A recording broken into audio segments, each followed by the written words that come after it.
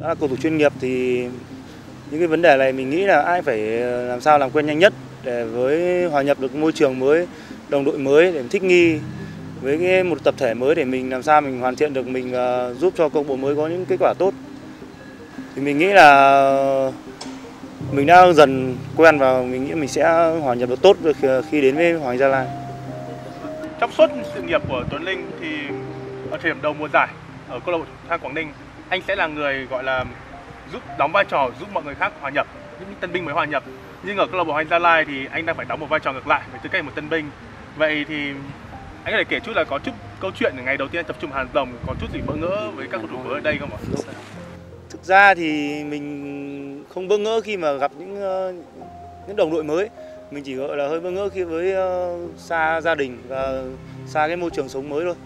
Thì ờ, nhưng mà được cái là ở đây các các em nó cũng ờ, rất là hòa đồng và cũng thân thiện và cũng giúp đỡ mình rất là nhiều từ những lúc mà những ờ, cái giây phút đầu tiên mình đặt chân đến đây thì mình nghĩ là cái đấy là mình cảm thấy rất là vui và mình thấy là rất là thoải mái khi là đến với Hoàng Gia Lai. Vâng, thời điểm mà Tuấn Linh lựa chọn một bến đỗ mới, anh có rất nhiều lựa chọn. Vậy lý do nào anh quyết định lựa chọn Hoàng Gia Lai là bến đỗ tiếp theo trong sự nghiệp của mình? Ra thì là trước khi đến nhận lời đến Hoàng Gia Lai thì mình cũng có một số lời mời. Nhưng mà sau khi mình suy nghĩ và mình ờ, mình thấy cảm nhận thì mình thấy cái môi trường và những cái mà, cái cái cái lối chơi của Gia Lai sắp tới thì mình thấy là sẽ giúp ờ, mình đã từng trải nghiệm ở Thang Quảng Ninh thì mình thấy là mình nghĩ là mình đến đây thì mình sẽ thích nghi sớm và mình ờ, được những cái sự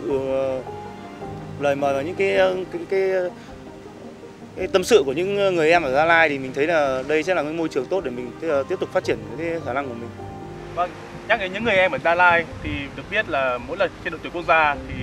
Tuấn Linh chơi rất thân với khá nhiều cầu thủ của anh Gia Lai nên tập trung đội tuyển. Đó có phải là một trong số lý do tại sao mà anh quyết định lựa chọn về anh Gia Lai hay không? Vì cũng kiểu có rất nhiều người thân quen ở đây để mà hòa nhập. Cái đấy cũng là trong một trong những cái lý do mà mình ờ, quyết định. Bởi vì mình nghĩ là bây giờ mà đi sang một môi trường mới thì phải có những người mà đã, mình đã chơi cùng, mình đã biết để làm sao mà đến đây thì mình có thể giao tiếp rồi là mình hòa nhập sớm nhanh nhất. Chứ còn nếu mà bây giờ mình nghĩ là đi đến những cái môi trường khác mà không không có nhiều người là mình quen biết trước thì đến thì mình nghĩ là sẽ mất một thời gian.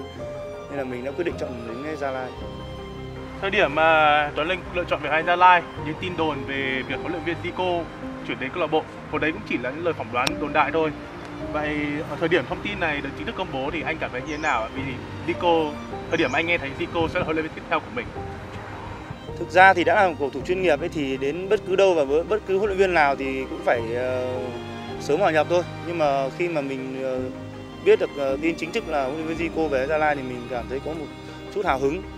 và mình cũng uh, hy vọng là được ờ, làm việc với một người ờ, huấn luyện viên cũng như là một cầu thủ trước đây rất là nổi tiếng uh, và mình mong là mình được sẽ được sự chỉ đạo rồi sự giúp đỡ của từ huấn luyện viên Zico để làm sao và giúp cho không những mình mà giúp cho toàn đội Gia Lai sẽ có kết quả tốt trong thời gian sắp tới. Vâng, vậy thì anh có thể chia sẻ một chút là ký ức của anh với cả huấn luyện viên Zico với tư cách cả là một cầu thủ với huấn luyện viên như thế nào được không? ạ? Thực ra thì khi mà Zico còn thi đấu thì lúc đấy mình còn chưa chưa đi tập bóng. Thì mình chỉ được ở nhà mình xem qua TV thôi thì được biết là Zico là một tiền đạo rất là hay của Thái Lan và cũng như ở Hoàng Gia Lai. Rồi đến khi mà Zico làm việc ở đội tuyển Thái Lan thì mình cũng được uh, trực tiếp xem uh, uh, trận giữa Thái Lan và Việt Nam ở trên sân Mỹ Đình. Thì mình thấy là uh, lối chơi của Zico rất là hay và hiện đại. Thì mình cũng rất là hào hứng và mong là sau đến ngày thi đấu V-League để mình được chơi dưới dưới sự chỉ đạo của Zico. À, gần 2 tuần kể từ ngày huấn luyện viên Zico có buổi tập đầu tiên với câu lạc bộ tại từ giải ở Bình Dương. Vậy thì cảm nhận của anh với huấn luyện viên mới của mình như thế nào? Thứ nhất thì mình thấy Zico là một huấn luyện viên rất là thân thiện và anh tạo luôn tạo cảm giác hòa đồng và tạo cái cảm giác sự hứng khởi vui vẻ trong từng những sinh hoạt ngoài đời ấy, trong buổi tập và khi vào tập luyện thì anh rất là nghiêm túc và mình thấy cái đấy là một cái rất là tốt cho những cầu thủ trẻ và cũng như là cho những cho đội bóng Gia Lai để làm sao khi mà tập luyện và các em được nghiêm túc nhất và những cái gì chỉ bảo của những cô thì anh em sẽ sớm ờ, tiếp thu được để mà hoàn thiện mình ờ, sớm hơn. Vâng vậy huấn luyện viên Zico còn nói rằng là ông muốn xây dựng một đội bóng chơi bóng với phong cách bóng ngắn, chuyển bóng sân chuyển bóng từ sân nhà và điều này vô hình chung lại cũng khá thuận lợi với Tuấn Linh, một thủ môn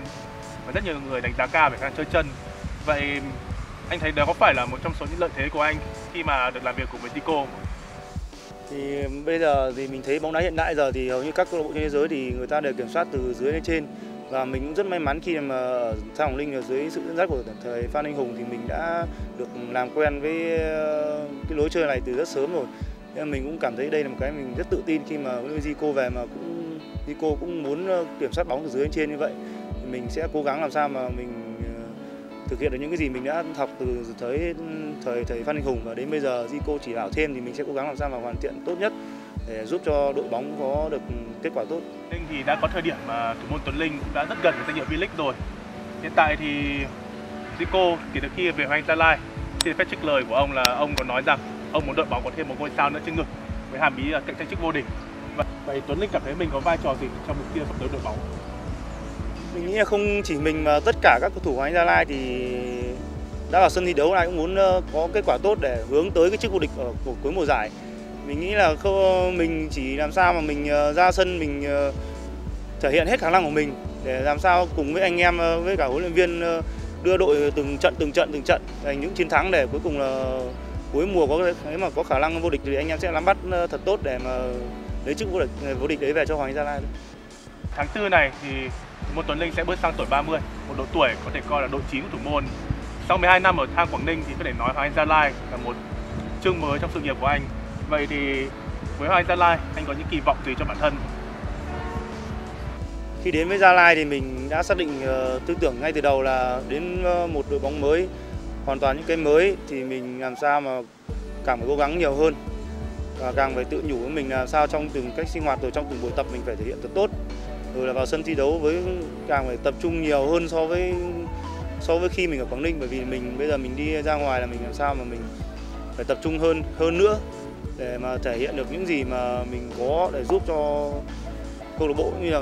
người hâm mộ, người ta có thể nhìn nhận một cái tốt nhất khi mà mình đến đây mình chơi với phong độ và cái khả năng tốt nhất của mình. Thay mặt cho anh em ờ, câu lạc bộ Anh Gia Lai thì ờ, nhất là mong sau năm nay thì ờ, hội cổng viên Gia Lai luôn luôn đồng vai sát cánh với câu lạc bộ từ lúc khó khăn và thành công và mình cũng như tất cả anh em câu lạc bộ Gia Lai sẽ cố gắng thi đấu trong bộ ờ, cao nhất, tốt nhất để giúp cho Gia Lai năm nay có một mùa giải thật thành công. Xin cảm ơn tất cả mọi người.